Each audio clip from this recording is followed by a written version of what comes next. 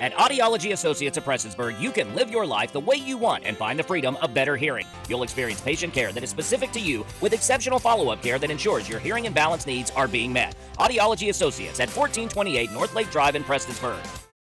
The case of the United States versus Eugene Sisco III came to its conclusion in the U.S. District Courthouse in downtown Pikeville on Monday evening.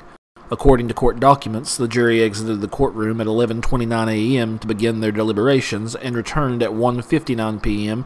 to deliver a verdict of guilty on two counts, one for wire fraud and a second for healthcare fraud. Proceedings began on Monday with attorneys for both parties presenting their closing arguments to the jury.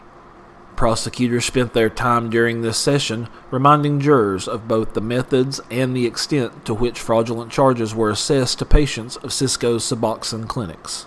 The defense, on the other hand, made use of their time by highlighting possible issues with the expertise of prosecution witnesses, as well as underlining the fact that all of Sisco's patients chose to seek counseling at the defendant's drug treatment facilities of their own free will. The defense also reiterated the fact that being out of compliance with Medicaid is not, in and of itself, a criminal act. In the end, it took jurors only two and a half hours to return a verdict of guilty on all counts. The first count for wire fraud carries with it a maximum penalty of up to 20 years imprisonment.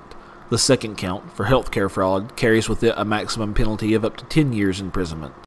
Both counts also include significant fines. The total list of penalties also includes applicable restitution and forfeitures. Sisco remains free on bond pending a sentencing hearing that is currently scheduled for March 8th of next year. For Mountaintop News, I'm Joshua Sloan.